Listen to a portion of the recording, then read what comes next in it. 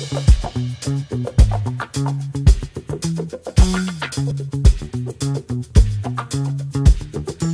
สดีครับปีเข้าครัววันนี้นะครับ เดี๋ยวเราจะมาทำเมนูที่ชื่อว่ากุนเชียงผัดใบยี่หร่ากันนะครับ เริ่มต้นเนี่ยการหาส่วนประกอบในการที่จะปรุงเมนูนี้ก็ไม่ได้มากมายเลยนะครับ เราเริ่มกันเหมือนเดิมครับ ด้วยกุนเชียงพระเอกของเรานะครับคุณผู้ชมครับ จากนั้นได้กุนเชียงมาแล้ว เดี๋ยวผมก็นำเขาไปหั่นเฉียงอพอดีคำแบบนี้เลยครับคุณผู้ชมครับ จากนั้นเราก็มีใบยี่หร่าครับคุณผู้ชมครับ เราได้มาแบบนี้นะครับ ซื้อมาจากตลาดเสร็จแล้ว ผมก็นำมาเด็ดเขาสักหน่อยครับคุณผู้ชมครับให้เป็นใบๆแบบนี้เลยนะครับหรือคุณผู้ชมจะหั่นเขาสักหน่อยหนึ่งก็ได้นะครับ จากนั้นเราก็มีพริกขี้หนูแห้งครับคุณผู้ชมครับ เราใช้พริกขี้หนูแห้งกับเมนูนี้ด้วยนะครับ แล้วก็มีพริกขี้หนูสวนสดนะครับคุณผู้ชมครับ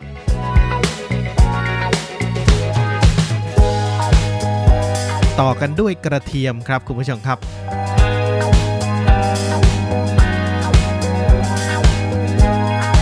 แล้วผมก็มีขาด้วยนะครับขาเนี่ยผมก็ใช้วิธีการหั่นเขาเล็ก ๆ สักนิดนึงนะครับคุณผู้ชมครับจากนั้นเราก็มีตะไคร้นะครับคุณผู้ชมครับตะไคร้เนี่ยผมก็เอาไปหั่นหรือซอยเขาสักหน่อยหนึ่งนะครับ และผมก็มีกะปิครับคุณผู้ชมครับกะปิเนี่ยลองชิมดูก่อนนะครับ ของใครเค็มมากเค็มน้อยนะครับ จากนั้นผมก็มีน้ำปลาครับคุณผู้ชมครับ ใช้น้ำปลาในการปรุงรสนะครับ แล้วก็เมนูผัดก็ต้องมีน้ำมันหอยสักนิดหนึ่งนะครับคุณผู้ชมครับ แล้วก็มีน้ำตาลปี๊บนะครับ หรือว่าจะใช้น้ำตาลมะพร้าวก็ได้นะครับ จากนั้นครับคุณผู้ชมครับถ้าใครสะดวกตำเนี่ยก็ตำได้เลยนะครับ ส่วนผมเนี่ยใช้วิธีการปั่นเอาเลยนะครับคุณผู้ชมครับใส่ส่วนผสมของเราเข้าไปข่าตะไคร้นะครับ แล้วก็ตามด้วยพริกขี้หนูสดนะครับ ใส่ลงไปเลย แล้วก็พริกแห้งนะครับของเราใส่ลงไปเลย จากนั้นเราก็แล้วก็ไม่ลืมที่จะใส่กะปิด้วยนะครับคุณผู้ชมครับ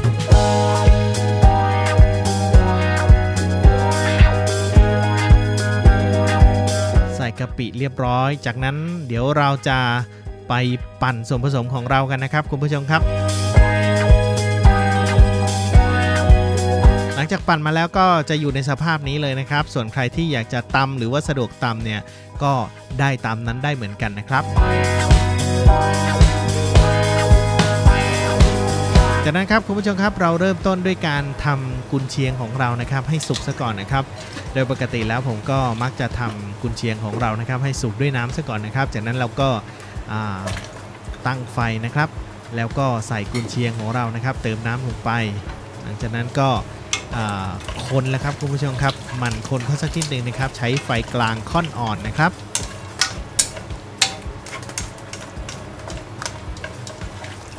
ใช้เวลากับตรงนี้สักนิดหนึ่งนะครับ ให้น้ำของเขาเนี่ย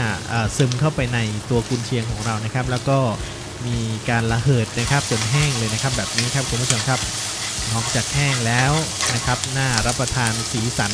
ได้ตามที่เราต้องการนะครับ เดี๋ยวผมเอาเขาไปพักไว้ก่อนครับ เรียบร้อยครับ จากนั้นครับตั้งกระทะนะครับคุณผู้ชมครับ แล้วก็ใส่น้ำมันลงไปสักนิดหนึ่งนะครับ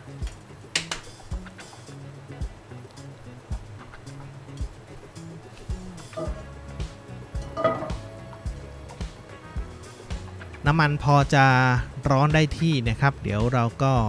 จะใส่นี่เลยครับ เครื่องที่เราปั่นหรือว่าตำเขาาเรียบร้อยแล้วเนี่ยนะครับ ใส่ลงไปผัดนะครับกับน้ำมันเนี่ยครับให้หอมเลยนะครับคุณผู้ชมครับ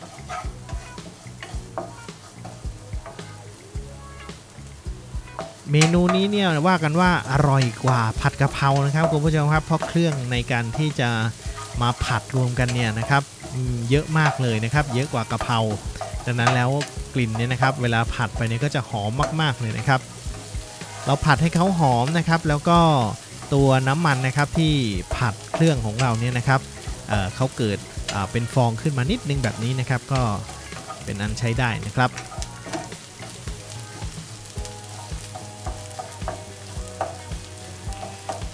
ผัดเครื่องที่เราตำหรือปั่นหรือบดแล้วเนี่ยนะครับ ตรงนี้ มั่นใจนะครับแล้วก็ให้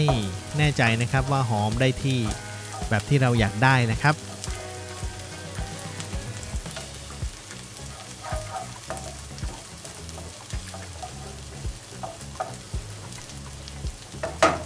เรียบร้อยครับ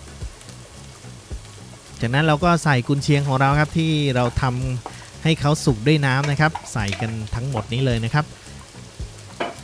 หลังจากนั้นเราก็ผัดครับให้ส่วนผสมนะครับ เครื่องของเรานะครับที่เราผัดเมื่อตอนต้นเนี่ยให้คลุกเคล้านะครับ เข้ากับกุนเชียงของเราได้เลยนะครับ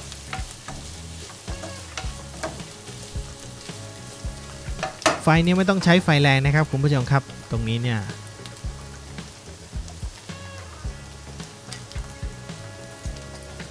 กระทะร้อนๆ ผมใส่น้ำปลาไปสัก1ช้อนานะครับคุณผู้ชมครับให้มีกลิ่นสักนิดหนึ่งครับแล้วก็ผัดเข้าอีกสักหน่อยหนึ่งอย่างที่บอกไปนะครับ ไฟไม่ต้องแรงนะครับคุณผู้ชมครับ ไฟกลางๆก็ได้นะครับจากนั้นเราก็เมนูผัดเราก็ใส่น้ำมันหอยของเรานะครับ ไปปรุงเพิ่มรสชาติอีกสักหน่อยหนึ่งนะครับ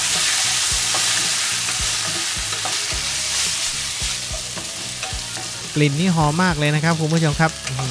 สีสันเนี่ยน่ารับประทานเลยครับ จากนั้นครับคุณผู้ชมครับใส่น้ำตาลปี๊บลงไปเพิ่มความหวานให้กับเมนูนี้ของเราอีกสักน้อยหนึ่งนะครับอีกสักนิดหนึ่งผัดจนมั่นใจว่าน้ำตาลปี๊บของเรานั้นละลายเข้ากับส่วนผสมของเราดีแล้วนะครับ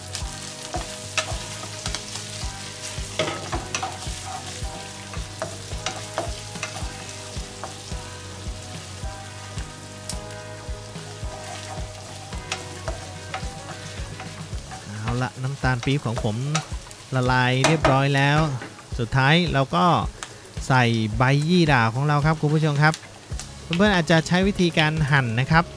เขาสักหน่อยหนึ่งนะครับ พอหยาบๆนะครับเพื่อไม่ให้เป็นใบ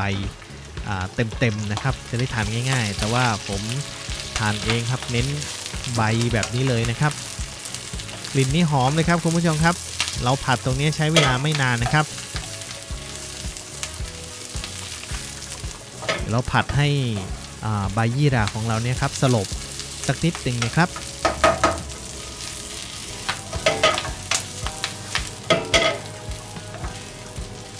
โอเคแล้วนะครับเรียบร้อยแล้ว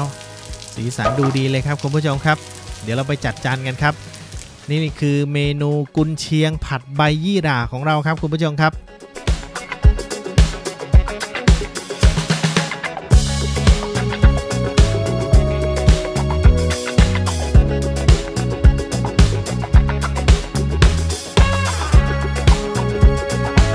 ครั้งต่อไปจะเป็นเมนูอะไรฝากติดตามกันด้วยนะครับ วันนี้ลาไปก่อน สวัสดีครับ